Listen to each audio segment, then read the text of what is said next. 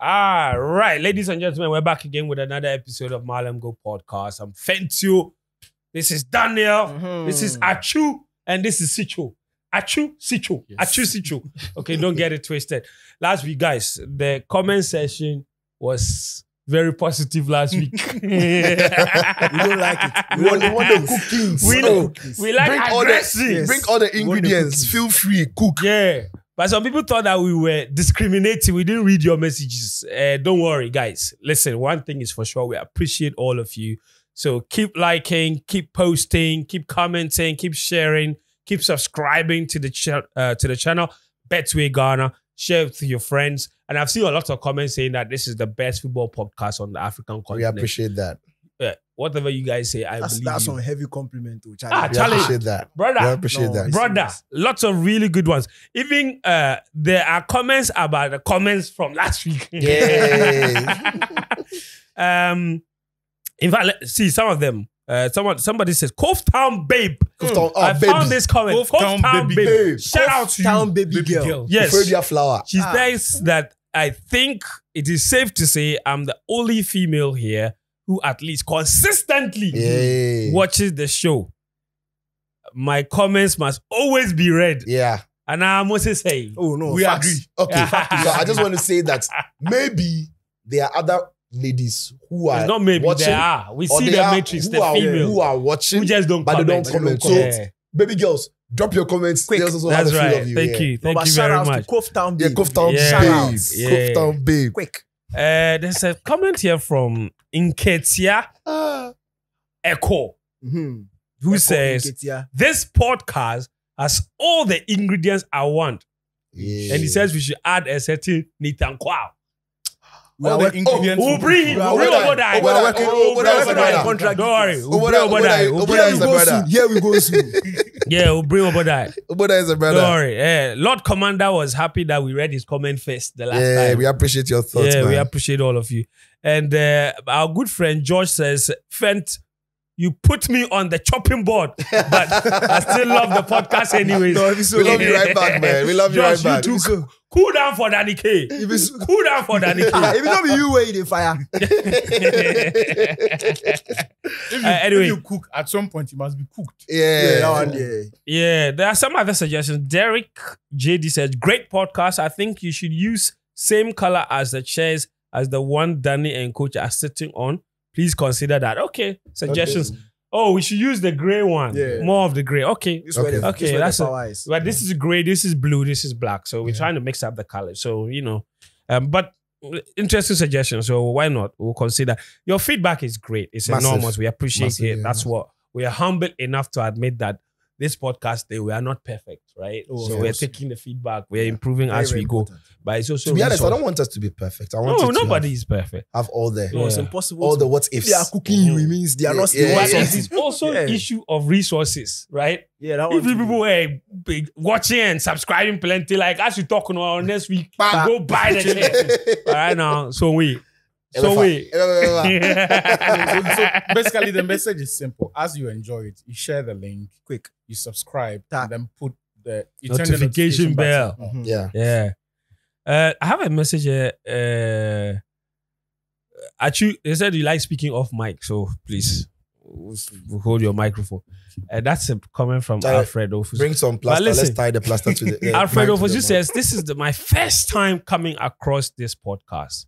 Great podcast, seniors. I'm here to stay. Stay with us, man. Stay with us, man. Yeah, Sue, for fantastic comment. Um, I had, in fact, I had a great comment regarding the handball rule from last week. Somebody asked a very, very checkmate question. Okay, that's the question I'm looking for. Um, it was a fantastic question that had me thinking a lot. So I'm just gonna. I don't remember the question. Or you want the person's No, name? No, no, no. I want to read the question, the person's Okay. name, and then the question. By the way, I found it. But before that, somebody else followed up. Julius Jabba followed up to something that someone said last week about Achuta Makulu. Mm. Mm. and the way he likes saying the comment, the like the way he does his. I saw that I saw comment. that one. I saw that He comment. It was a said- very lovely I'm illustration. reading it. It's a one plus You know, one is equal to So two. there is an allegation here or a concern by viewers that Achutamaklo takes a bit too much time to make his point. In other words, he knows what he wants to say, but the guy But will go wants- and talk he wants big, big English. English and go around before it. he, he comes to the point that he wants to say. It's not like he doesn't know what he, he knows. You you can we can all tell what he wants to say, but he will But go the curves to you The take. curves, Charlie. he will go Finesse. through he will go the through curve, the curve is like the train curve Yes. that he went to hit the But eh, he'll go to eh. Vume. He'll go to Atalanta. Go to before he arrives here. My response to him is that you're assuming your comprehension capacity is the same as everyone. It is not. Wait, No, it is wait. not. When you say comprehension capacity, So, like, how, you are else, to understand how else? How else could you have simplified that? He's Your the understanding. English Your, teacher. your, He's the your understanding That's of all. That's your, it, your, though. yes, Your your understanding. narration. Oh, That's all. brother, That's brother. all. You don't even need to add off anything. Yeah, You your, your understand- understanding that's of what he's saying is That's it. Not everyone will understand it at the rate you do. Please. Someone people- needs a few more words. Okay. so like needs- this, You like read the this, comments for me. Julian Go Jabba says, when it comes to Ajutamoklu, Mhm. when they say question, one, One plus plus one, one. any other person will say two. Achu will say, if A, A is equals equals to to one one, and B is equals to one, then A plus B is equal to B plus A because addition is commutative. Therefore, one plus one is equal to two. it's, it's too accurate. No, it's too accurate. The guy just wanted to show off. He just wanted to show off. But the guy the guy to get wanted to show off. Julius, You know how many people remember this commutative No, addition? but you see, Um, I'm sure he's like you. Yes. So he he understands. relates. yeah, he can relate. He understands where I'm coming from. He's guilty of the same crime. Uh, that's a that's a great comment. Charlie, read It the is- handball. Read the handball thing. Yeah. So here's a handball checkmate uh, point that I wanted. This is from Sam. Oh, mm, Sam Am or Sami Am. Okay. He says, so if Gabriel, now it's talking about the handball incident from our last episode. If you missed it, you can go back and watch the last episode. We debated the whole handball situation involving Gabriel in the first leg of the Arsenal versus Bayern Munich match and whether it should have been giving a penalty. The referee didn't give it. And then we came here and we said the referee used common sense approach, okay? Because Some of you said, not all of us. Okay, cool. So Sam says, so if Gabriel, instead of picking up the ball like he did in the Yeah. game, passed the ball back to Raya and it ended in the net, the goal would they have been disallowed based on common sense? Very great question. Checkmate. Because if he can pick the ball and you're thinking it's because Bayern players are not approaching him and not, not and we say we don't give the penalty because the there's no advantage there's for no them. advantage for them. And If the he no had passed it to if the- passed the ball back to the goalkeeper, having There's no pre- the same the circumstances same, exist, right? The same No advantage to Bayern, But no the pressure, said, nothing. Restart that goal kick. I mean, the whole common sense thing makes no sense to me. But there is also there has to be a limit to it. I just said he just has a question. Would the goal have been disallowed based on the Great same goal. common sense? That's a great goal. The great goal, for the, Bayern. The goal will not be disallowed. That's what, I, and I think I agree with with Achu. Yeah, It's- there it's- has it's to be a limits, limit yeah. to It's, the it's limits, and it's also sense. discretion, and it's also about the reading of the situation. but So that's why the, but that's the point though, because then? a penalty could have led to a goal for Bayern. So Same those are the biggest chances you No, have in. I'm uh, just, That- that one while is a I may not necessarily agree with the decision and the thinking behind it, I'm just saying that if that was the thinking, the referee would not be obliged by the same sort of concept Yeah. that because it is common sense. Since then, yeah. Because at the end of the day, if you want to extend the same logic, at some point it will start looking foolish. Mm-hmm. just like this one looked foolish. Yeah, no, No, no, it's that's not the the point. end That's the what they're saying. At the That of the it, it common looks sense foolish. just denied Bayern a legitimate opportunity Clear. to score a goal. Not, the, not, not the one that they describe as So it's not- they don't think it's viewpoint, foolish. From Saka's viewpoint. Okay, anyway. The, the so main issue Sa- I have with the whole discretionary power is that you cannot tell when the referee will overdo it.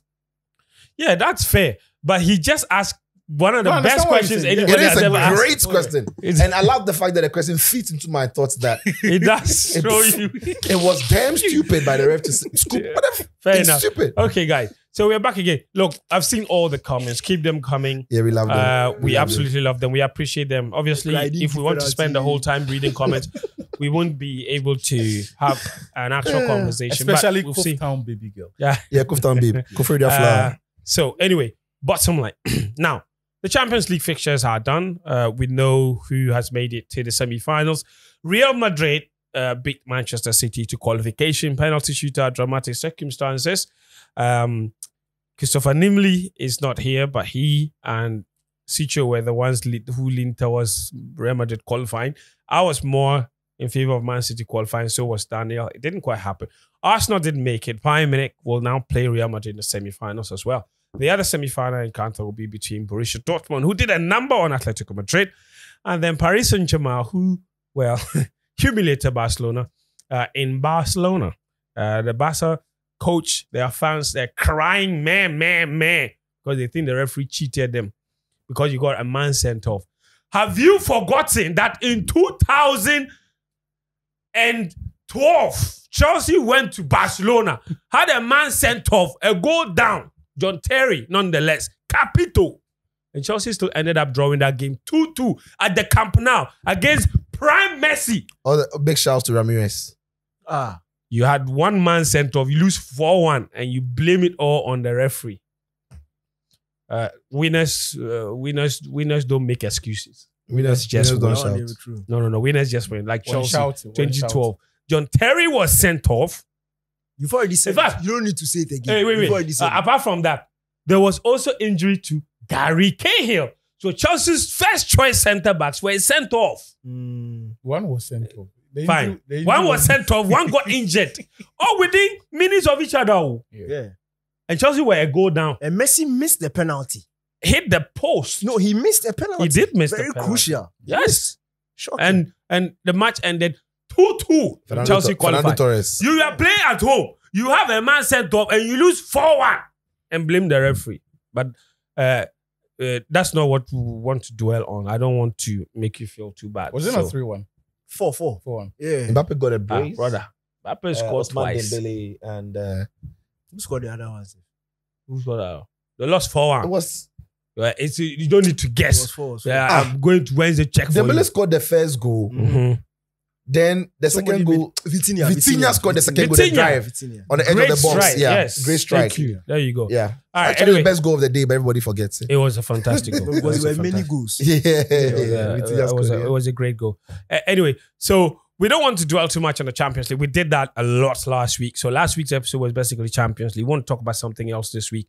Uh, there are a few things to talk Wait, about. you don't want to talk about how the four teams are in the Champions League? No, in fact, let's talk about it. Let's talk about. it. Let's start talk from. about Let's it start from pod? Bayern. Uh, Let's start from So, Bayern. like, okay, what do you want to say about Bayern? No, the, you see, we all are viewers and listeners a responsibility. absolutely. No, We Wahala. previewed certain games. Yes, Okay. and now we have to set- review. Yeah, we have to I, review. I, I agree. So when your Also, host, what what when- went wrong Oh. for Arsenal? Oh, for us now, they lack Sun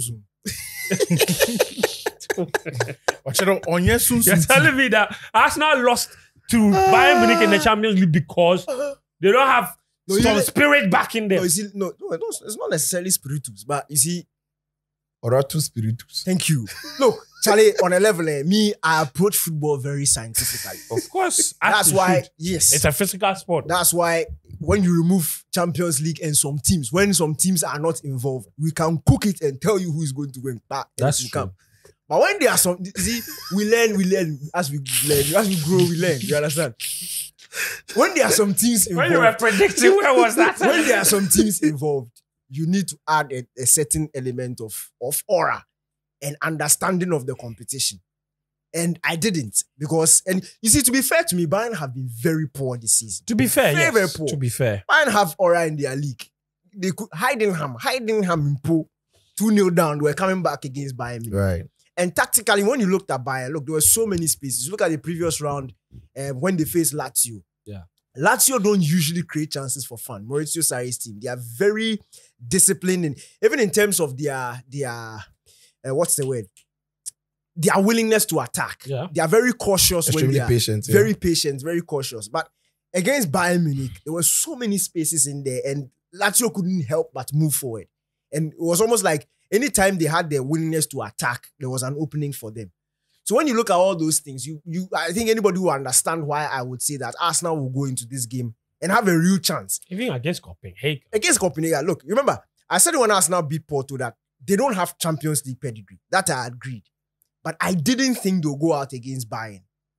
Going all the way would be a stretch.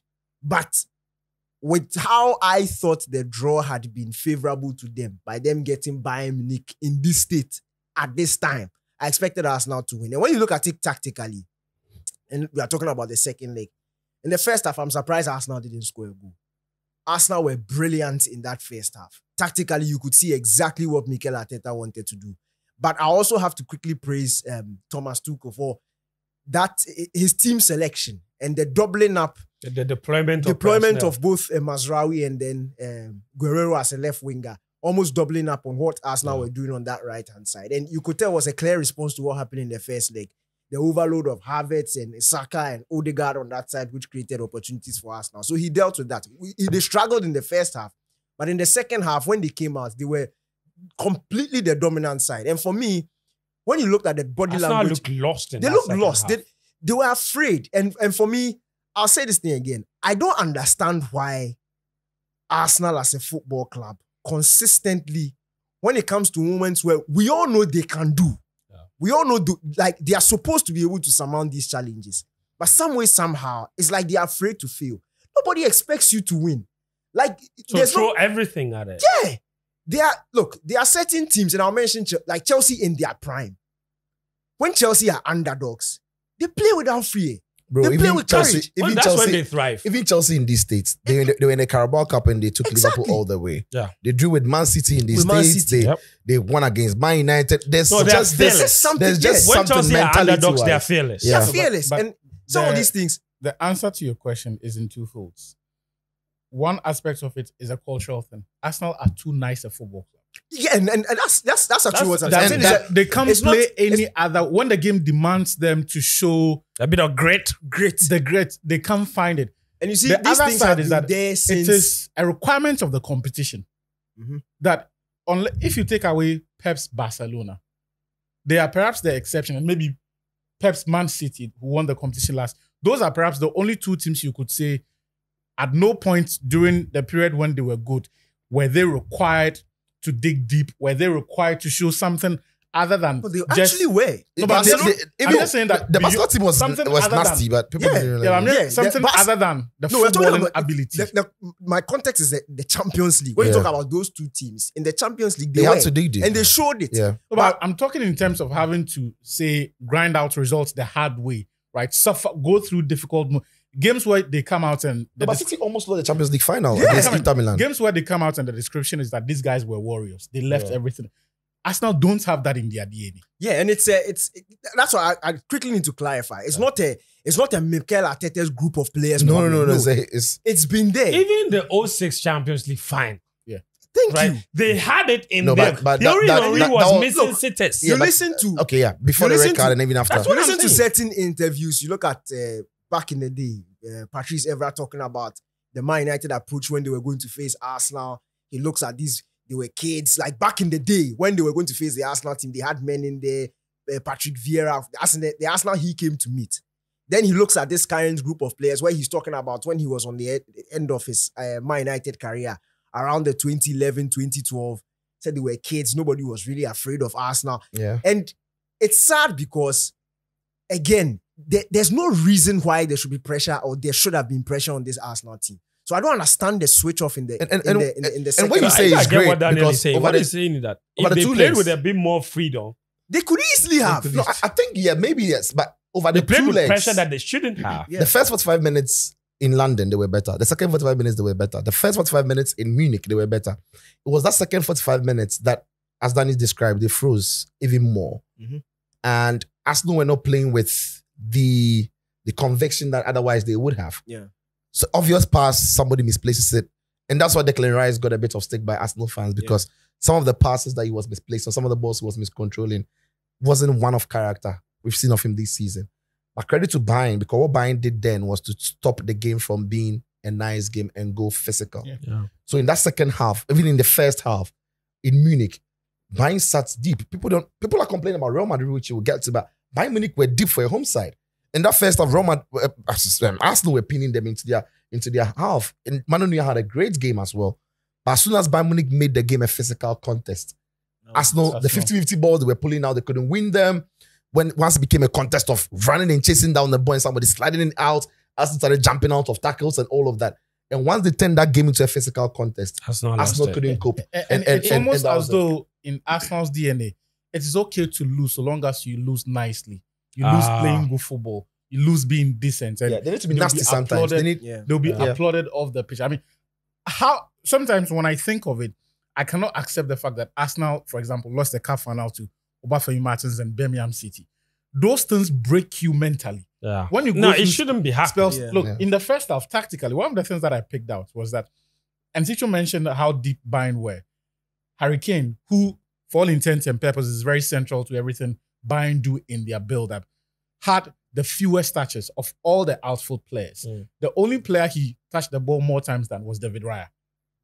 So if the central cog in the team's build-up, and when Arsenal went to the when Bayern went to the Emirates, we saw Harry Kane. He was the central, and he his combinations were he was present in every single sequence that led to either a chance or a Yeah. goal.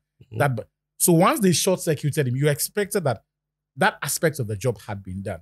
But again, you come to the fear factor and how they could not move through. So in the second half, if you look at Arsenal's first shots at goal and the second shot at goal, which happens to be the third and final, Arsenal had three shots at goal all 90 minutes. The distance or the distance between the time span, time difference. Yeah, 42 minutes Between shots. between shots In the, in the second half. in the second half. So the rest of the time, what were they doing? Just passing for fun? Interesting. So apart from you know, and this is the the interesting thing. Apart from um, uh, being knocked out of the Champions League, uh, obviously it came in a week where Arsenal also took a big hit in their Premier League title ambitions, and then that exit in the Champions League also means that Arsenal will not be participating in the maiden edition of the new expanded FIFA Club World Cup that will happen in the USA next year. So it's a That- double that, whammy. That one too is a stretch. They had to win it. To They had to able win. No, yeah, but so long as they stayed in it, there was a chance. Now there's no chance. Do you really and I'm think saying that's that that gonna- chance. Do you really I'm think that's saying that right now that chance is gone. just as it's gone for okay, PSG will be there. So for Man City. No, by- by- by- so Man City will be there, Dave, No, Man City will be there as champions. PSG Yeah. will be there by ranking. by ranking. Bayern Yeah. would be there by ranking. By ranking. Atletico, Ajax, Salzburg. All, All of of them will be there by by ranking. ranking, They don't need to win. Yeah. Arsenal have not been in Champions League for a long a time. long time. yeah, So Yeah. okay. I don't think Um, they were looking there. You know, Chelsea will be there as winners. Yeah, As we know, winners, we know. yeah. You don't need to say it, we know. 2021. Real Madrid as 2022. winners. I know what. Yes, Let's, Real let's move on Move to on the from next Chelsea. one. Let's, let's move on to the Real yeah, Madrid. congratulations to Bayern though, because they've not had a great season by the end of the Champions League Yeah. series, yeah. Uh, anyway, um, listen. Yes, let's talk about But this. guys, and so- this irks me because Before we move it on, the whole of this week. before we moved on, assuming, and there's a big if, Mhm. Bayern win the Champions League, does that change the dynamics in, in terms of Thomas Tuchel and the decision that the club has already said he would move on? No, he what doesn't. he's going. No, he's because he then actually, it means that he Yeah, but actually he actually, he So actually the question answered that should be, question uh, it- in, Yeah. in the week Yeah. where he was asked in post game the game. He said, "If Bayern Munich win, are you going to stay?" The he said, "No, he has agreement with the club to leave at the end Yeah. of the Yeah. season." So it actually leave. then means that he leaves on a high. Yeah. So which is actually It's almost like perfect. saying that if Jurgen Klopp had won the quadruple with Liverpool, would he has still stayed on? The answer perhaps would Uh, have no, No, cry. no, that's a diff- that's a different one. That Right, is- I'm just it's saying that- possible. You should No, no, no. That's you mentioned Liverpool's name, and now we want to talk about Liverpool. We will talk about them But after what is Champions League. happening to Liverpool? No, we'll We'll get there. we'll- but we'll that get quadruple slowly. thing, I don't know why they were so. Fi- it's not possible. They It's can't the do Liverpool it. fans. who- No, they can't do This it. thing X me. You can only dream it. But Real Madrid fans, how do you feel that all week after the hard work of progressing to the semi-finals and for the pedigree that this club has, there was a certain narrative that is or that was propagated all week that Real Madrid were lucky to get into the No, semi-finals friend, of the that Champions thing, League. eh, Huh. they were they are, they are actually Madrid fans who are also who are agreeing to yeah, who are agreeing to it. That's Why? Because Madrid sat deep and defended. Why? Defending is not football. no, they feel like and at least I, I I spoke to a couple. They feel like because of the players they had, they should have been able to play the ball some. They don't have better players than Man City. They probably have, That- but that- that they- one no, is they arguable. don't. It's On the arguable. pitch. No, that one is arguable. It's okay, very no. arguable. Now, should we go player by player? yes, Oh, yes. yes. Okay, good. Apart from Haaland, Hold on, they hold have on, hold on, no, no, no, hold the on, hold on. Man City players. You had the better goalkeeper. City, City. no problem. Thank you. Yeah. Are you sure Who- this season Ederson has outperformed Lunin? Please, it doesn't matter. Pedigree. He mentioned it. That's Okay. what it is. Okay, Rooney- I like, I like Okay. the tangent. Go on. Yes. Yeah. We've already won. Yeah, because Nacho per pedigree is better No, than no, all City's but even backline. in current form, are you telling me Yeah. that Lunin has had a better season? Yes, he has better had a season bit- than Ederson. Ederson is not a great shotstopper. Okay, how many clean sheets do they have? Check. It's not. Because talking what is about- the are you talking metric for clean measuring a sheets? No. goalkeeper? No, no, no, no. You have to you, you have let- to you have to look at the goal prevention.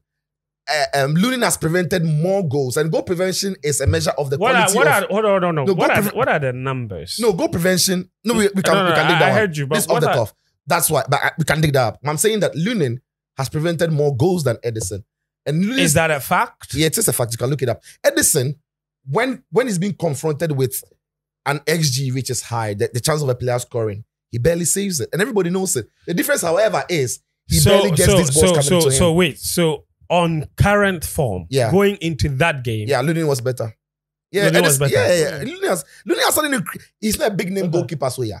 But if you're asking me who who is a better goalkeeper between the two, Mm. per pedigree and history and everything, you, you let's look. to say Let's Ederson. look at the two centre backs on the day Lunin has prevented four goals Yeah, this this season. season. Yeah. yeah. XG shots faced is Yeah. 16. Shots con- uh, goals conceded 11. Mm. So So he's prevented four. that's What's four. Ederson? Then Ederson will be higher because I'm. Really? I would be so. I doubt Ederson will be higher. I think it will be higher. I'm positive. I think Ederson has Ah, played. It's the same. XG, well, see, And Ederson has his- played his more is even games. worse. X, XG Hold on. shots Yeah. faced is 25.5. Yes. Goals conceded is 26. Yes. What, what, what I re- what I know about City this season, It's Ederson basically is, friends. expected. The What I'm goals are is- supposed to score have What I, know, what I before. realized So about he didn't Ederson and City prevent him. is, Mhm. yeah, what I know about City this season is they don't concede many chances, but they concede quality chances.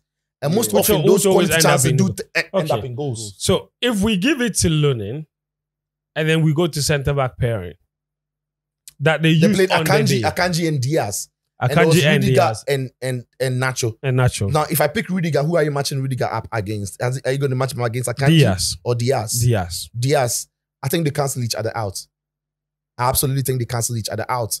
Nacho and Akanji, I I personally, mean, maybe because I'm a Chelsea fan, but I definitely would pick Rudiger over Dias any day. uh, Dias was one hell of a No, defender. he's no, he's a good yeah. defender. I'm not saying he's not. Yeah. I, I just like my Rudiger defenders also, more like Rudiger. I want a like, like defender with an who defend like that. Yeah, they put some fear in there. when you can pocket Haaland for 180 minutes. There you go. You get a lot of credit in the bank. It's not Okay. it's Rudiger for me. That's true. Akanji, Nacho. Well, you mentioned pedigree for Ederson. I would say Nacho, but Akanji. Un- Unca- But to be fair, Akanji is a great centre back. N- N- Nacho Mm. never really disappoints, but yeah, I would pick. I would pick Akanji. Gvardiol against Mendy. That's tough. No, I think Vadio. But Joel is not even As a left back, He's, a, he's an I'm picking. I'm picking Ferland Mendy He's all day long. As a left back or as a No, that's As why he played. back. He played left back. Okay. He's Uh, No, no, Yeah. see, calm down. The left back Gvardiol is playing, Mendy can play. And but the left back, F- F- Mendy's You playing. two can play. But who's the better the- left back? No, so the, what is a left back? Let's go with a depends- No, conventional no, no, no, it's a good question. No, there's no Depends- conventional depends on how the coach definition. describes It's- it. yeah, it's Good how it's how But between the two players, though, over Okay. the over the two games. What about- okay? What about Walker and Carvajal? that one is very tough. Walker played just one of that time, but played on the day as well. But I think Carvajal's output on the day was immense. No, I'm talking about on the day, or we're talking about the two players. No, I'm who's talking about the two players no, who's we, better. we- Yeah, who's no, better? the- Daniel made a point. I say He player said, for player, yeah. player for player. I'm saying it's arguable. It's, who has the better players? Okay. Walker So in Carvajal, the that one is midf- a massively midfield of It's- Rodri, De Bruyne, yeah, and Phil Foden. yeah, don't go there. Don't go there. Hold on, hold on. Yeah. Against a midfield of Camavinga, yeah, Toni Kroos, yes, Valverde. yeah. That that midfield, that that Real Madrid midfield for me looks more a lot So, more a more balanced a balanced midfield than City's. But again, Danny says it, it's the instruction. Mm-hmm. But also individually, the Madrid midfielders, I think, scored more points that's, than the City. Yeah, players. City you look midfield at with City, pedestrian, left, right, left, right, left, They right. were not able to influence the game No, no, in no, the no, manner. Now, now we are taking No, no, no, No. Before the match, yeah. before the two teams Yeah. even played, Madrid's midfield for me player is a more balanced player, midfield. who had the better players? That's the question. I'm saying it's arguable. And I'm Yeah. look, you let's just let's just let's just flow with the conversation. Go I on. was saying that Madrid fans, at least the one I, I, I mentioned it, I said something. There are actually some Madrid fans who are also feeding into that narrative. And their reason is because they feel they had better players than Man City and they could have or played at least have enough Yes. quality to match and up. could have played a bit more offensively. That is their school of thought. I don't believe so because I think, in as much as the system that they've been playing this season is not new to the manager, it is new to the team. they are. You may find it hard to accept it, but they are still adapting to that system. They are not perfect yet. Manchester City have been playing under this same manager, and the- in fact, Man City's core group of players have been together for quite a while. Yeah. So they are better used to each other. They are they've gelled a bit more. They've been doing this for a much longer time. So you need to adapt to them, not they adapting to you. And this is a case where the last time you went to this stadium, they ripped you apart by four goals to nil. When for me, I think you had a better squad. You had, in fact, at the, at the front there, they were in a much better situation Yes, with they did. Benzema and They Vinicius Jr. Benzema. That They- alone. yeah. So you need to look at the mistakes you made and try and perfect it going forward, using the, the, the players you have and trying to get the best out of them. And I think Madrid's game plan for me made sense. Now, the game plan was they were different, and I'll look at it in two halves. In the first half, it was a very, it was much more offensive than the, the than the second half. First half, yes, they were sitting defending very compact, but their breakaways were sharp, they were direct, and we could clearly tell that they were going for counter Especially attacks in the first half. Yeah. in that first half, when it came, Madrid create- created much better opportunities True. than Manchester City. I think if you check the metrics, Madrid had two big chances in that first half. They Yeah. scored one, they missed one. Point is, in as much as City dominated the ball, Madrid were the better offensive side in that, in that first half. Yeah. Madrid were leading at the end of the first half. These games, look, it's fine margins. We all know that Man City will by all means create chances. They will. The point is, can you limit the volume of chances they create? That's what you are trying to And do. the quality of the And the quality of the chances. And I think Madrid were able to at least limit the, the volume of chances. What they tried For to do in that, long for a very long spells, of course. And most of What- the saves Lunin made were balls down the middle or Yeah, balls they you were not him to make. They Routine were not. Yeah, they were not, you know, they you were were not not, you know, for- worldies where you're like, wow. So I'm looking at that second half, and I'm trying to enter the head of uh, Carlo Ancelotti. What is the need trying to counter press and And leaving yourself exposed. because we saw it in the first half. There were moments where Madrid tried to counter, and Man City could have taken advantage of them on the counter attack. It was smart positioning, especially from Toni Kroos, and that's what a lot of people don't really appreciate about his game. He's not your, and I'll mention another name. They are these these two players. Eh, Mhm. They can finish a match and they are not dirty, Yes. but the defensive work That they've done. to be slide tackling. Thank you, Jorginho It's one. and Kroos. Yes. Their positions, they, they manage to pick up positions where they have high volumes of They interceptions. defend Yeah. spaces well. Simple. They defend So because of them, you will not make a certain pass. They can force you to go sideways by just positioning themselves in a way. All these things is football. It, it is. So it's not about throwing And yourself they on the floor. Critical off the ball incident. very, very critical. So because of those certain situations, which I think was smart play by Tony Cruz, Man City were not able to totally take advantage. And also because the ball fell to the wrong person. All the time. So when City Almost all the transition, time. it's Akanji with the ball. So they rather make a poor pass and it will not punish Real Madrid. So in that second half, at half Is that also again? Is that also Real Madrid deliberately marking out or cover shadowing Kevin De Bruyne and Bernardo, and being Cutting comfortable? out the th- That's being- exactly being- what he just said. Being said. comfortable to allow Akanji to have the ball because they know Yeah. Technically he's the and that's technical credit player. to Man City Yeah. and also a downside on Pep for putting Akanji in a position where he was in a position of influence yet couldn't influence the game offensively. Now at halftime, if you are Ancelotti, you have shown in the first half that when you are sitting deep and you are blocked, Man, Man City are not creating chances. Mhm. Man City's brightest scenarios in the first half came on came in transitions. Almost nobody noticed that. So if I'm Ancelotti, I'm looking at this. Why should I continue to go on a counter and risk uh, uh, uh, conceding an equalizer when I can just sit deep and maybe pick a moment or two?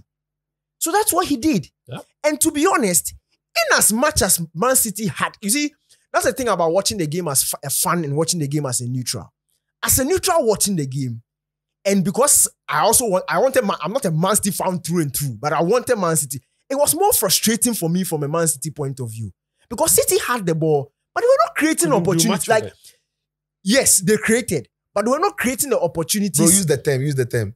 Noisy. noisy possession. no more here they did. Like they have the ball, you can see it being moved around, but Madrid were not being faced by anything. Last 15 minutes, that changed. That was because of that substitution by Pep Guardiola when he brought on Doku. And to be honest, That's even for about eight minutes. was it like that? The first eight minutes that Doku No, I'm on. saying, but it was it, it was quick. Yeah. There were a series of opportunities that City created. Yeah. The goal, the De Bruyne chance, and there was another one. I think. No, it they had Foden- some really good movement. yeah, one that Foden was coming from the same one that was hit on the back post and The Phil Haaland. Foden miscued shots. Yes, all of those chances came around that time.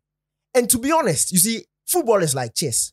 When one man- manager makes a move, it takes time for the other one to, To steady adjust, it yeah. and Yeah. to adjust. By extra time, when by the time we went to extra time, Real Madrid had adjusted. So when you look at the fine details of the match, don't look at possession. That one is, is you see, it's a means to an end. You can have the ball, but it's about the efficiency. What are you doing with the ball? When you look at the, the details of the chances, Man City, yes, they created, but they created a similar volume of chances that Real Madrid created. Yeah. Both teams were equally as efficient. In fact, the number says that in big chances, both teams created 3 3. Yes. They scored one each, and Each. then they missed two, Missed two. each as Yeah. well. So Yeah. So if you go down to those metrics, me sitting deep, you having pos- possession, it's just a stylistic thing. And I don't It doesn't. It doesn't show dominance. No. And I don't understand the whole frustration or the whole narrative because it's a cup competition. Yeah. What is critical is to get to the it's next to get stage. the- and get the results. And for me, you see, I think this this thing is more of and if if if if if if you follow if not just this podcast, but if you follow, I'm very consistent on this Yeah. this uh, uh, uh, oh, this Fixation false or- fixation of It's a false narrative. false narrative of possession football Is being what is entertaining. is what is entertaining. Wh- What are you talking about? Look, but- let me state emphatically. Mhm. You watching the podcast, you listening to the podcast.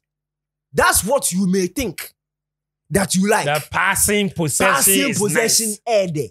It's not nice, oh.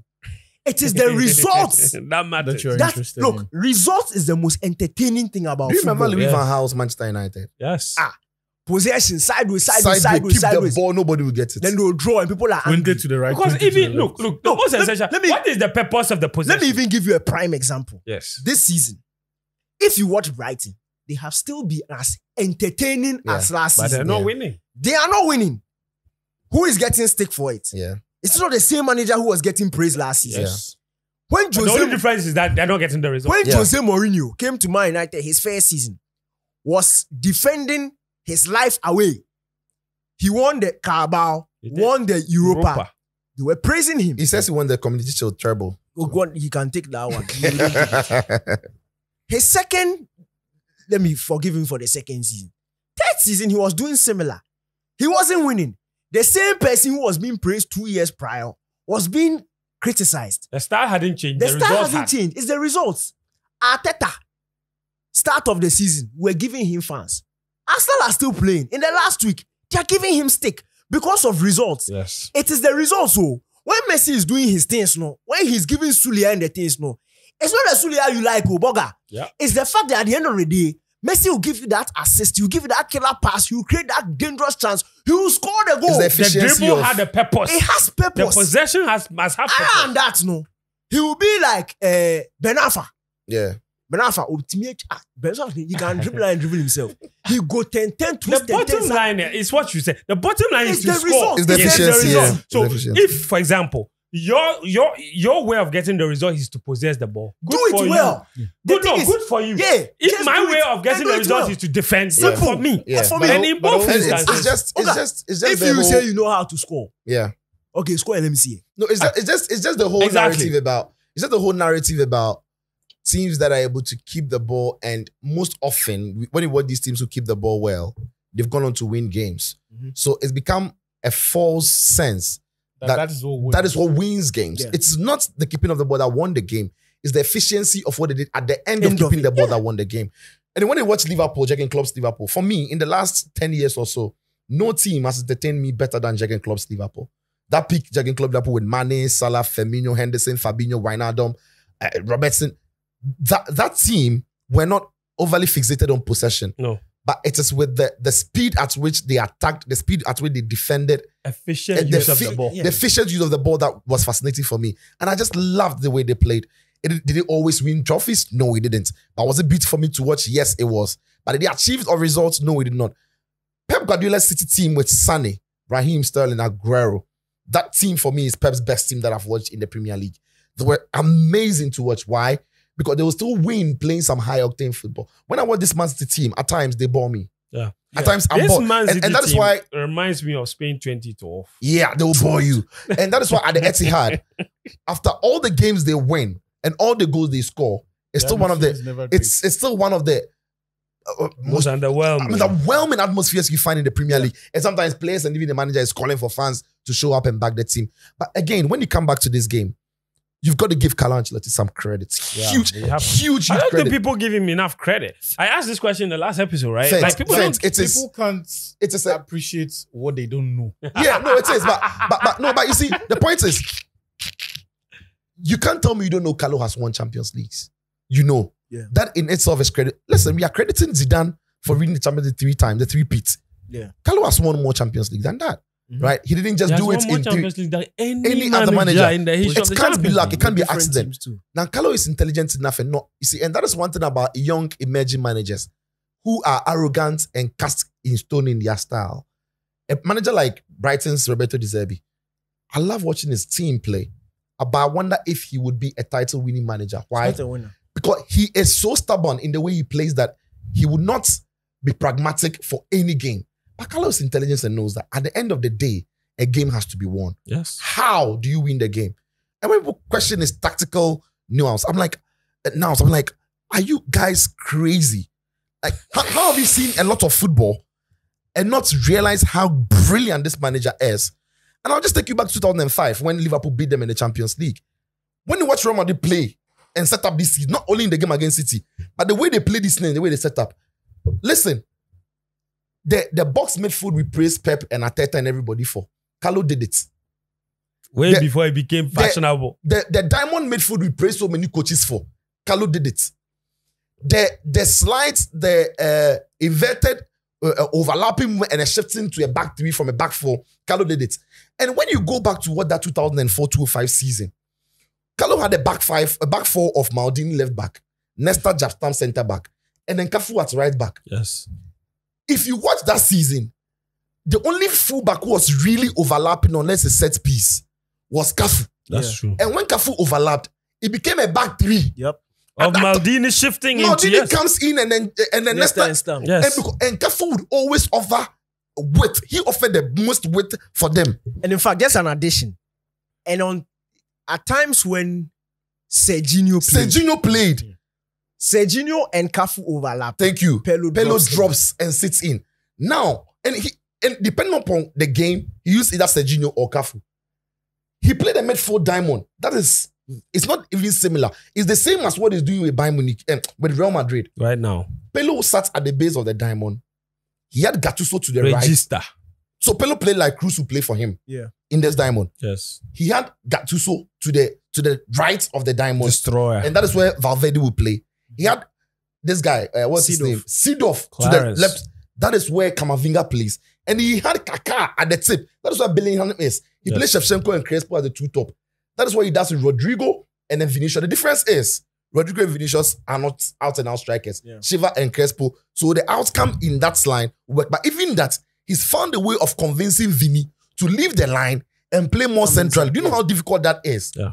And at times, depending upon the game and the opponent, Gattuso moved from the right channel to come and sit alongside Pirlo.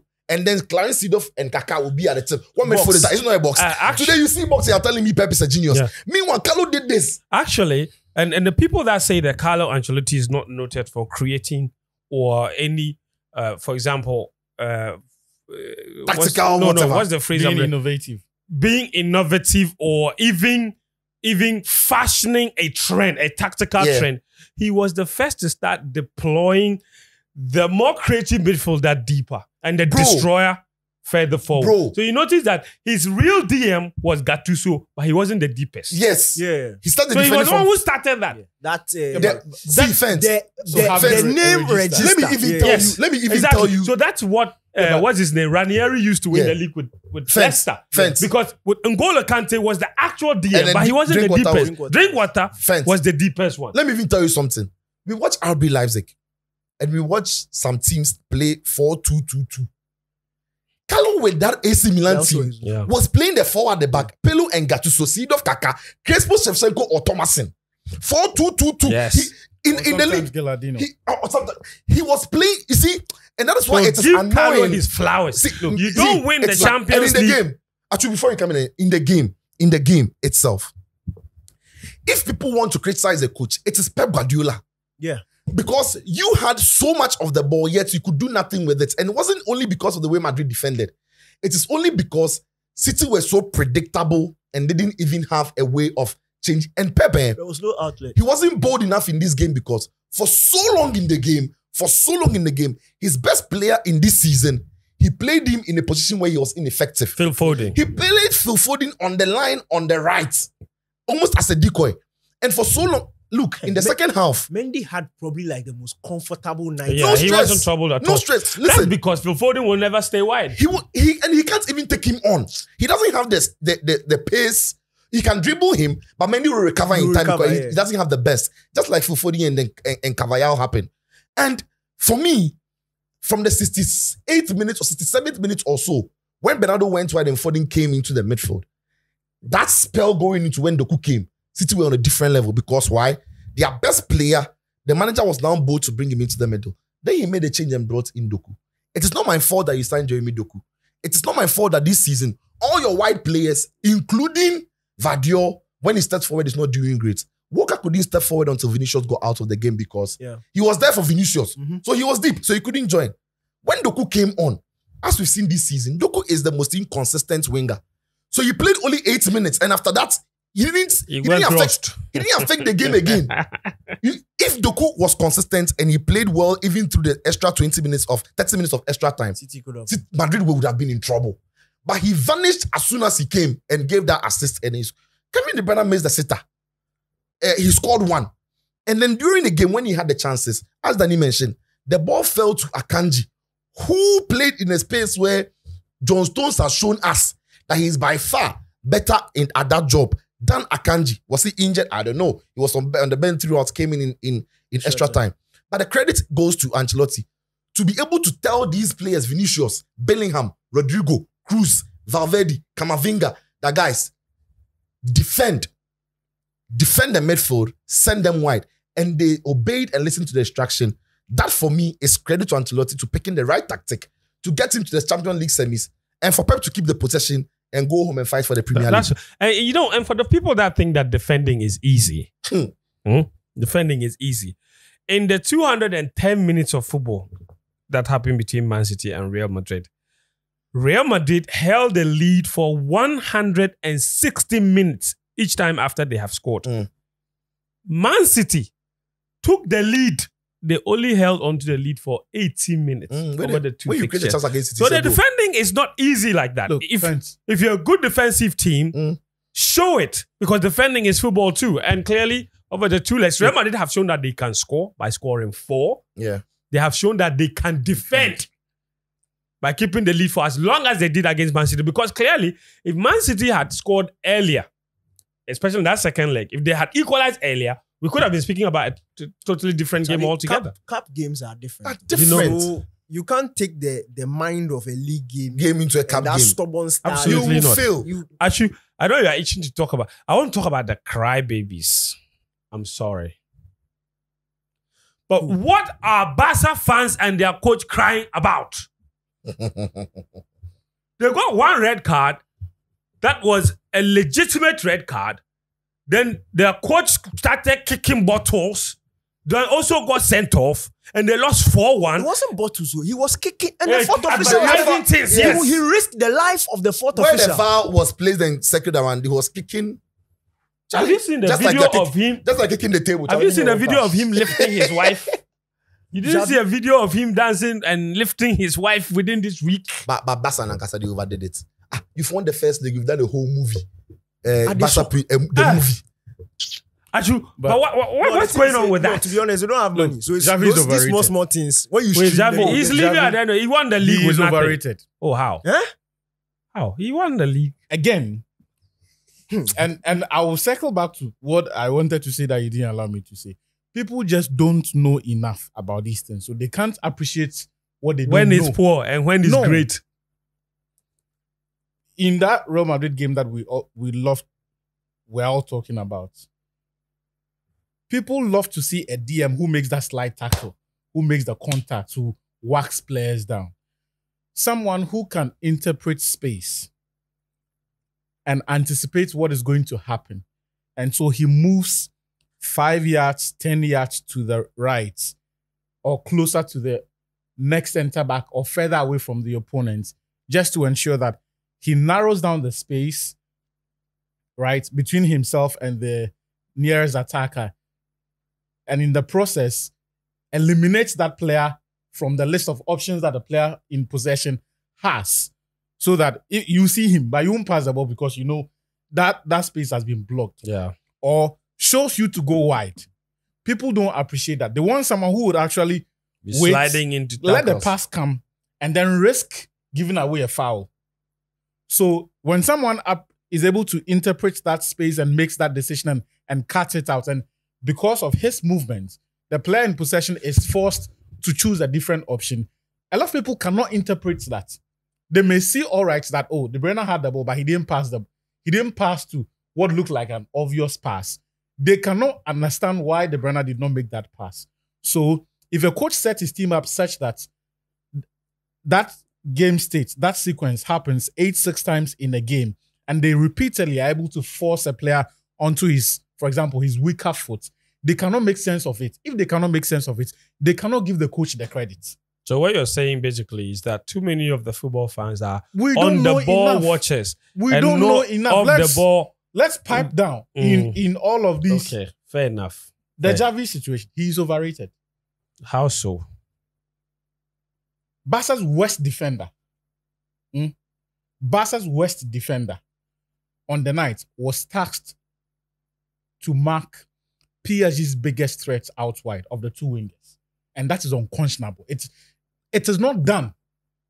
It is look, earlier today I was saying that coaching in And its Barca's simplest- best defender being Araujo. No, I said their West- worst, West- Or defender. the worst Cancelo. defender. Cancelo. Cancelo. Mm. and then he was ac- allowed Wait, to where's mark- Balde? Is he injured? Injured, yes. injured. he That's was a allowed muscle to injury. mark he was allowed to mark Ousmane Dembele. You don't do that, especially after. So what, what what would you have rather? So you either push him forward and hook Robert Lewandowski, introduce a more natural defender who's good in one v one situations. Who would that like be? who? The Who came, options who came on off the bench? after Inigo what? Martinez. Yes. Inigo Martinez, if you take him wide, he's dead. They will So- cook him. The issue, the issue for me is in twofold. Put a more natural defender there who in one v one situations or whose natural instincts will respond to those situations adequately. And then also you create a scenario where you get one of your midfielders or one of the wide players to actually be the one to engage Ousmane Dembele, like we saw Ancelotti do in that Real Madrid game. That is just one way of thinking about it. You are under no compulsion to go with that idea. What you have to do is to provide a solution. And he No, but did see, not. you are And you so are, repeatedly, no when you when you make that point, Mhm. you are assuming the two teams set up sim- similarly. no, they they they didn't need No, to they're set looking up at the for him to respond I to. don't know why Rafinha though was playing there so he could track back more. To It do- wasn't to help. working. And here's the thing: Barcola, who was playing on the opposite, Yeah, it was on the on the Had on the so much left. joy. Yeah, and I was wondering at what point is he going to respond to this? Because for for PSG, the tactic was clear, and they weren't going to rush it because they had realized that this is working. They were stretching Barcelona at will. There were times they would send in one cross, it will elude everyone, and the player at the o- other end of the ball will be PSG's opposite winger. To be They fair, that to be fair though, didn't that become too easy for PSG after, After the the red red but card? that was the responsibility. but were PSG, not, were. PSG not still not the better team before the red card? Even before, Even though Barca got into the lead, Fence, I thought PSG fence. started. It- Yeah, but Barca, Barca- got, Barca Barca- got the lead, Yes. but PSG were, were and, the what, better team. and what did we just say I about games? It's about I don't know. who I, scoring. I think No, no, PSG no, were no, the better. no, I think Barca had contained them fine. not necessarily. I, But they had for me, at Not least, I, I thought no, no, Barcelona hold on, hold on, were hold on. comfortable Up until situation. this is Okay. these are the facts. So let me tell you Up what I saw. until the red card, Barcelona had a two goal advantage.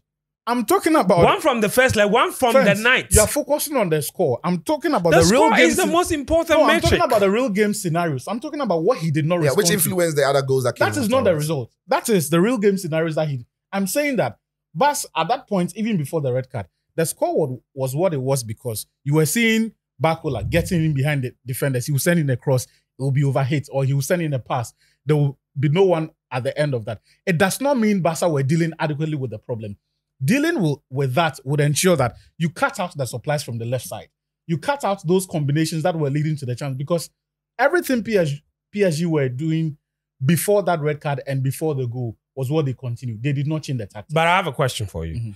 If he stayed 11 v 11 Yeah. and PSG continued doing that, they would that, have beaten them.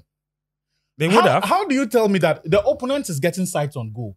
They are getting in behind your defense. They are finding the combinations that are creating good, decent openings, even if not necessarily goal Didn't scoring PSG chances. get similar joy in the first leg and still didn't end up winning? Yeah, but winning? you're counting on an opponent being wasteful, which is a horrible tactic. The whole point of it, every good defensive plan is that it minimizes the chances, the quality of chances, and the volume of quality chances the opponent is going But I to think create. if it was 11 v 11, uh, maybe But there PSG was- struggle because I think Lamine Yamal was giving Look, Nuno Mendes a lot of people forget horrible I actually time. don't Defense. agree that 11 v 11. 11 v 11. I- Yeah, I'm thinking even from the first were leg. that poor. Even I, from I- the first leg that Barca I just have concerns about how poor they became friends, after they After had a man sent off because even it's from the first leg, even from the first leg that Barca won, after PSG scored their second goal, they had two chances in four minutes. There was a first one that they flopped. There was a second, the Barcola counter on the right side that he he could not decide whether to cross or to shoot and eventually missed it. If those chances go in, that's 3 2. That's a different conversation. They miss it, and then two minutes later, Barca score from the free kick. Another mistake. So if it says we're going to be result centered in our analysis to say that, oh, then let's look at the quality of the chances. Because on the balance of play and the quality of the chances that we saw in the game, PSG should win the two legs Yeah, with or without the red card. And that is why, for me, the, the better argument will be to look at the management of the real game scenarios, right? Because what PSG did, I thought that to a certain degree, they even shot themselves in the foot by where they deployed Kylian Mbappe, who was their best player, because he was practically ineffective. but at the red card, But Why even was- with that, hmm. still, they created the better chances. So you you cannot tell me that your game plan was the better on the day, and yet the opponents had the better sight on goal, had the better chances. But you were counting on the fact that before the red card, they were not really ruthless. So your assumption is that it is going to continue until the no, but it's not. No, that- I don't think that card- is the only assumption. Yeah. Though. The, it takes two to tango. Uh-huh. PSG were not clinical with their chances. Yes. Barca were. Uh-huh. So to be fair to Barcelona, they got a chance. They scored. Mhm. PSG get. They don't score. That's not Barca's problem. No, that's Barca, not. yeah, exactly. but why did Barca had one job. yeah. Both teams actually had one job: score when you get your chances. Yeah. Barca did their job. I'm saying PSG to you, didn't. I'm saying So to you, you that, can't take credit away from No, Barcelona I'm saying to you that and say Friends, because PSG were Friends, wasteful, I'm so you can't credit I'm Barca. saying to you that there is that, but there were scenarios that I felt they could have responded to. You would have had a better chance if, and you see, for all of the time that Lewandowski stayed on the pitch, he was ineffective. That's why I'm saying that you would have had a better chance if you push Cancelo. If you need him for any role on the pitch, it should be attacking. Because when the demands of the game changed to a point where you were required to defend more, you needed players who can actually do that. I So don't think it will make sense in any tactical context to assign Cancelo to Mark Dembele. Look, even on Dembele's but you worst see, day, eh, What? Let, no, just just, just let me finish here before you. Even on Dembele's worst day, when he's not scoring or being productive, he will skin Cancelo for 90 minutes. Maybe what he does after skinning him is what So, will so be that was poor deployment That was of poor personnel. deployment. Okay, fair. No, the reason why I don't necessarily agree is you see, there are some there are some teams who have certain personnel, and they know these things will cancel each other out. Yeah. So you look at the PSG fullbacks in Hakimi and Mendes. In that first half, Lamine Yamal was doing basically the similar thing Dembele was doing to Cancelo. Some of these things in coaching, you allow it to happen. It's it's it's plus one minus one and you you go with the hope that your attacker gets the better of the opposition. Again, some attacking fullbacks like Mendes, like Cancelo, even deploying them there, also sort of gives the winger more defensive uh, responsibility just by their presence.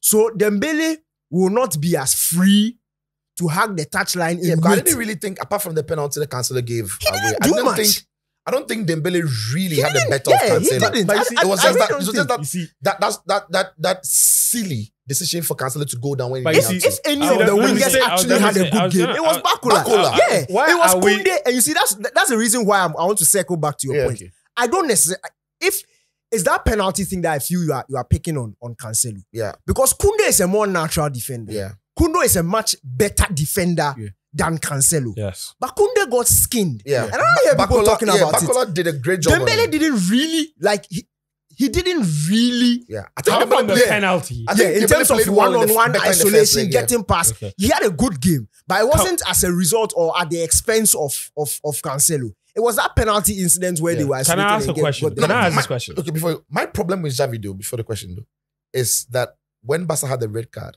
he still tried to play like they were 11 v 11. That was terrible. That's No, my I- should, have, should have, should have been humble enough to sit tight because I can't get why 10 v 11 PSG could send that ball across the face of goal with the space they had be in behind the line. They should have been deeper and tighter and compact. Frustrate PSG, hold them till the break or something. And when PSG now are becoming desperate, you can send off your wingers to maybe try and hit them on the counter. They were too expansive for a team that had a man down for me. The question I was going to ask is Xavi says the officiating was a He's disaster. been a Charlie, crybaby. Charlie, Charlie, Charlie, Charlie, Charlie. He's See, been a crybaby. see, see. Xavi has been on the See. pitch. In, in Xavi's career, he's probably witnessed more refereeing injustices that have gone his his way than any other player in the modern I, I- era. look, I'm here for Remember it. Let's Ovrebo? list them. Remember Ovrebo? Of course, uh, Uh, Ovre- Tom Wolfgang- Henning Ovrebo. Fence. Wolfgang Stamford Stark. Bridge, 2009. Wolfgang Stark. Massimo Busacca. We haven't forgotten the names. No, but friends, the- let's talk the, about Robert, the the what's his name? No, Van see, Persie if you go on that tangent, eh, See. you are trying to create the narrative that the referee was unfair. the referee He was, great. 100%. No, I'm just, I'm Yeah. just saying that he is used to co- controversial decisions Going which his are actually way, yeah. wrong, going his way to the extent that when he actually sees the correct one, he He's cannot now confused. identify. No, it. Ah. no offense. For, for, the, for, for the base of those who are watching or listening, Yes. we have to take the incidents one by one. The simple matter is simple. The Araujo incident, it was the lack of judgment. See, and Araujo's angle to the run he made was bad for a defender as good as he is. I think he trusted too much in his own ability and his Yeah. physicality that Who knows? I'll get there. I mean, it's it's me, I'll get there. Because Barcola's touch took the ball across him. It did. And if his run was straight and not almost diagonal and trying to meet Barcola, he probably gets to the ball too or match him shoulder to shoulder. But in trying to meet Barcola, Barcola got ahead of, him, of him. and he had his hand over his shoulder and pulled him right before he got into the box.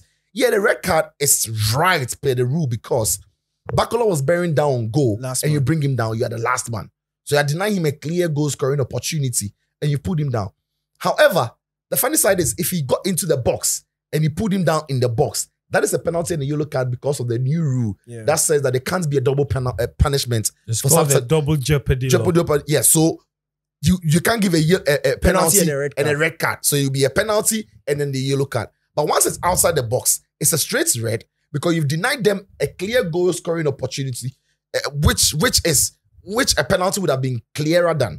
So the referee was brilliant. And for Xavi, you are kicking the UEFA branding that is guiding the VAR zone. Boga, you don't respect. No, it's not about the kicking. The fourth official was there. Was standing there. His sins were exposed. Exposed. He was And you- risking you could the have life. been injured. He Yes. been injured. So Could have he- ended his career. he Just like Xavi, he Xavi should know better and then take care of those emotions. I don't think the referee had a bad game. I think the referee was fair. If that was La Liga, he probably gets away with it. But in the Champions League at the highest level, No, you see, referees now when are even being within the same team, yeah they can't all agree that the referee was bad. bad. Then you know that God- because Okay. Gundogan came out Yeah, and he said it was his But I teammate. He thought- did. I- He I thought- said the right thing. But I thought- and then I- I- Arrow listen, was listen. asked about it. and I'm not sure. I'm not sure if he was the right thing to say. Gundogan though, I love his candor. However, Araujo's response makes me wonder if he should have been the bigger man in leaving out some of the very harsh criticisms. Yeah. Right. So you can give your assessment of the game. You can give that tactical breakdown and accept responsibility. But the part where you talk about the mistakes other players, and I thought he went into too much detail It was unnecessary. to basically Yeah. And it's explain not the first time. I remember the classical the that they, classic. he was talking about when he went to the dressing room. They were in their phones. He doesn't feel that they are angry enough. He came No, here to No, I win. but- think but that it's, it's very necessary. No, As no, for the no, for me, no. I need 100% out- because with call Gavi- the- the Gavi and Co players. said, listen, we're, we're all crying, we're devastated. What do you mean by we're on our phones? But the point is, this is a new generation. This is a new generation. No, no, and- and you can but- say these things no, in the but- dressing room to the boys. The boys, the, Man City have a lot of vocal players. When you watch their documentary that has been released, well, it's the documentary could be acting. But Ruben Dias, Yeah, they were blasting him. Ruben Or say- Dias, or uh, could be acting. yeah, uh, Rodri. These are Actually, guys. who- watching that documentary, I felt like Rodri was the real captain. Yeah. Yeah. Yo, he guy walks into the dressing vocal. room and he's vocal about standards. Standards. It is not what you say in the media that changing the standards in the dressing room. It is what the team agrees to speak about. So it's a cultural. it is a thing. culture. No, no, so no, when but you you step see- out and you throw your place on your own colleagues under the bus. No, when you put it, when you put it like this, I don't like it. I agree. no, no, the reason why I agree is you see, sometimes for and clubs like this, and where Ba- where Barcelona is going with this, they don't have money, so now they are relying on their youth Yeah. uh, products. Look, I'm of this. I have this school of thought. It's not factus. If you are a player coming through the ranks of a- an academy of a, a top team, part of the football training is also understanding the club you play for. Yeah. You can't come from La Masia and be acting. You are playing Candy Crush on your phone after you've lost to Real Madrid. No. That one, if I'm Gundogan and I see it, I'll call you out not just in the dressing room, but in public also. So Barcelona fans will know. Will that not kill the, That this- the, the kids? No, no, no. If it kills you- you, if they- it kills you, they then are not meant to- They are not meant to be in meant the for the club. That's not, that's not No, no, true. no. No, no, no, it's true. No, I get what I get what as top Daniel is saying. I get what he's saying though. I but get what he's saying. There's a better way to do it. If you can't handle it, then you are not not meant that, to be. No, so you're fans- expecting a, a, a, that- 17, that they you're expecting a come 17 year old boy to straight away understand everything overnight. Okay, it takes no, no, time. no, okay, let me see, let me what let me let me let me, quick, let me quickly explain this. thing. no, no. Let me quickly explain this thing to you, Boga. Unfortunately for Barcelona, unfortunately for Kobbie Mainoo in Man United, Gavi, Pedri, Kobbie Mainoo, they are not in the same situation that players like Rooney, Ronaldo were in when they entered the first team. oh. Now the team is depending on you to be At 18, consistent yes. week in, week out. Like Enzo Dems and Mudryk. You can, yes, you are 18, but you are now a man. So unfortunately for you, if I see some certain attitudes in, we have to flash it out of Danny, also- open. Danny K, Danny K, all right. no, No, so, we can't if allow this, you to go if on this, pod, if on this podcast, as as teammates, right, we are all aiming for this, give our, our, our listeners and viewers great content. Mhm. But there are things that maybe I'm not doing right that you can easily walk in and before we start, all the pre meetings we have before you start, they can chip in the guy. Say, "Yo, what about watching that or watching that? Thanks, what about doing that? And instead of you telling me in a team meeting so that we get on the same page, the next thing I see is they are on Twitter tweeting about. uh, Again- on Twitter or, or Again, on, on we media don't know. tweeting And you see, the reason why I'm no, saying we is don't that know if look, he didn't talk about I'm giving Just- No, listen, Gundogan. No, I'm giving Gundogan benefit hang on. of the doubt because After, it was after the Clasico. Gundogan. This was the first time Gundogan has been a leader in the dressing room. yes. We know that Gundogan is a very good leader. So for it to come out, it means he's probably been saying it. Omuntie, they are small boys, They Gen don't Z. listen. They And- don't and listen. even But in so that- he has to come and also talk in them that- to and the even in fans. that So interview- that will change. The suggestion was that Xavi didn't have a problem with that reaction. And given his background, What, the- was that a suggestion? yeah. Because if you read the full text and everything, it was as though eh, You're this happened in the front El of Clasico that comments. Clasico. Yeah. This happened in front of Xavi, and he didn't have a pro. If you look at the training that Gundogan has had, if you look at the training Xavi has had, it is right for Gundogan to expect that you understand the ethos of Barcelona probably more than anyone here.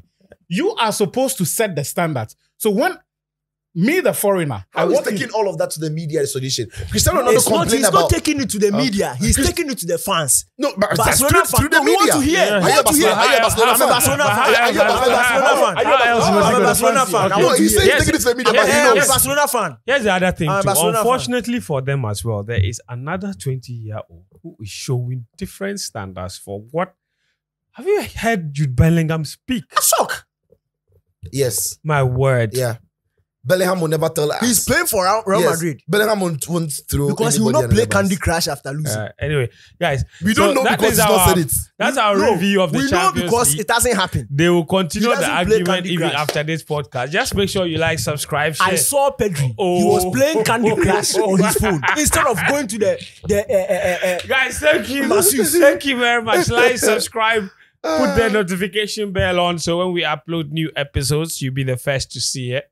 Uh, we appreciate all of the comments. If you have any feedback, your thoughts on anything we've said today. Leave them in the comments uh, on this podcast. So we'll be back again with another episode next time. Until then, cheers and take care.